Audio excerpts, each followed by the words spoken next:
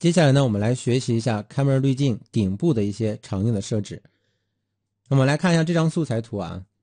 那么在这个素材图的这个地方有一个小岛，哎，是在拍摄的时候把它拍进去了。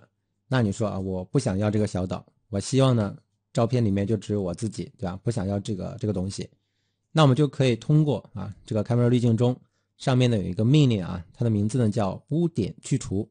哎，点击之后呢？我们的鼠标在这个小岛上点击拖拽，然后松手，它就会自动的找一片干净的区域给我们覆盖上去，去完成修复的这个工作。当然，你也可以呢去移动它的位置，你可以动一动位置，像这样去动一动。哎，我觉得这个会稍微合适一些啊。然后动好之后呢，我们可以适当的调整一下它这个参数，比如说羽化，羽化的话就控制它边缘的这个虚化的这个程度啊，你可以去调整一下。按照这个这边的效果啊去调整就行，包括像不透明度这些都可以去稍微的啊控制一下就行。删除怎么删呢？选中它是吧？选中之后我们按住 Delete 键就可以完成删除。这是关于我们这边叫污点去除啊，还是一个非常实用的这么个工具。这第一个，那么第二个非常实用的工具呢，叫它啊叫渐变滤镜。什么叫渐变滤镜啊？选中渐变滤镜之后呢，我把画面稍微的缩小一点。好，从上面拖下来，你发现什么？你会发现天空变蓝了。它这个意思就是说，给我们添加一个渐变，用这个渐变呢去影响我们的这个效果。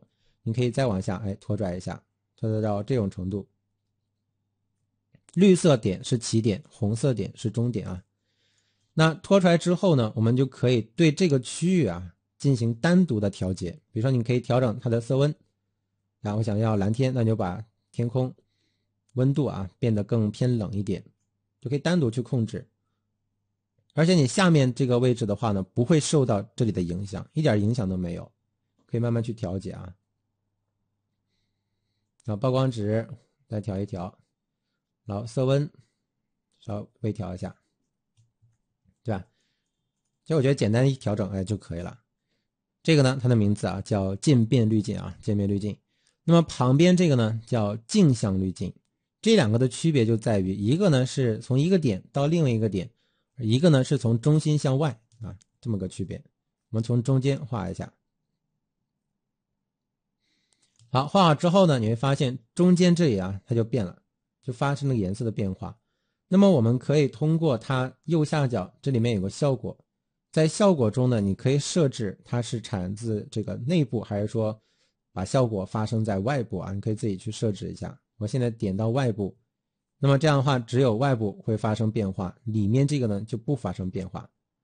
你看，我可以呢把它的这个色温啊，也是可以再去调，还有像曝光值，这样只突出我自己，对不对？都可以设置啊。好像对比度。这大家可以自己去设置一下啊，要像高光值，那么像这个大小的话呢，你可以除了有正圆形之外，它也可以变成个椭圆形，是可以来回去发生这个变化的啊，还可以去这样对它进行一个移动，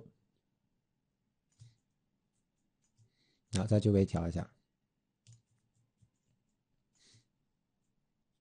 变大一点，那我这里的话呢，就把它的色温啊稍微调暖一些啊。